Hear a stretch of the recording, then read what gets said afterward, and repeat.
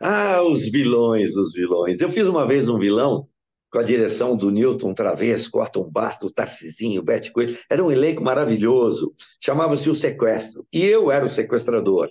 Eu sequestrei o Caio Blart, que na época tinha 5, 6 anos.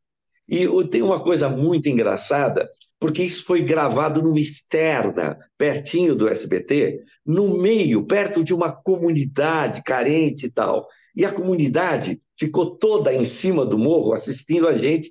Esta cena se passava num campo de futebol, que eles fizeram uma cenografia, montaram uma cabana onde estava o sequestrador, o sequestro, o sequestrado.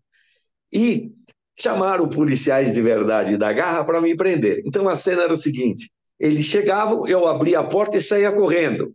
E o Newton Travesso falou assim: olha, vocês policiais saem correndo atrás dele, ele vai subir o morro, mas não deixa ele chegar lá em cima na comunidade. Tá bom. Aí eu, os caras, todos fortinhos, falaram: então é esse velhinho que nós vamos correr atrás, o velhinho? O velhinho era eu. Eu tinha 50 anos, não era tão velho. Muito bem. Ação. Eu abri a porta, saía correndo, ele saiu correndo atrás. Só que eu estava mais em forma que eles. E eu subia, e a comunidade começou a torcer para mim.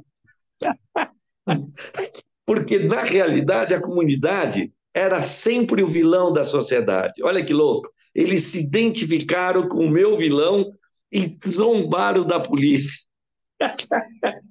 Foi sensacional. Esse é o meu vilão inesquecível.